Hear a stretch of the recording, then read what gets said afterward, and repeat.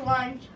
And today we're having double double cheeseburgers, turkey ham sandwich, wed- cheese wedges, sandwiches, or sandwich, cheese or turkey pepperoni calzone, garden salad, broccoli, and Banana! Delicious! I don't think I'm dreaming, and I ain't got the brains to make this up. Jacob from Fantastic Beasts, and where to find them. Attention all possible winter athletes. In order for you to try out for the basketball team, you must have a C average and not be on the ineligible list for the 12 week report cards coming out this week. Be sure to make up all tests, work, and extra credit. And behave in your classes. You only have this last week to impress your teachers as they complete grades this weekend. Good luck and hopefully we'll see you on the basketball courts for tryouts. 8th grade boys tryouts will start on Monday, November 18th. Active Socks on November 7th, we will be having our annual Active Socks sale at lunch.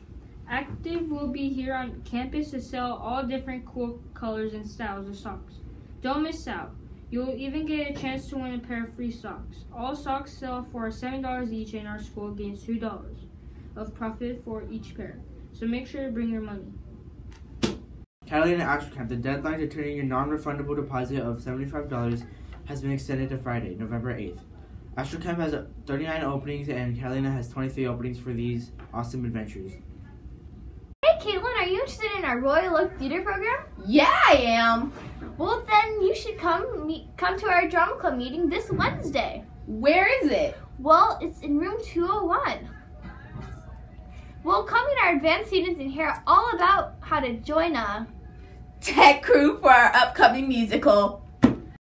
Lunchtime Basketball League ready to start. The Lunchtime ba- Basketball League teams are now filled. Schedule of the games can be found in, on the ASB bulletin board by the ASB office as well as in the ball shack if, our, if your team is signed up to play, stop by to see when and who you will be playing. Stop by the ball shack if you have any questions or need more information. Popcorn and soda sales at Cross Country League Finals. This Wednesday, November 6th, Royal Oak will be hosting Cross Country League Finals. ASB will be selling popcorn and cold drinks for $1 each.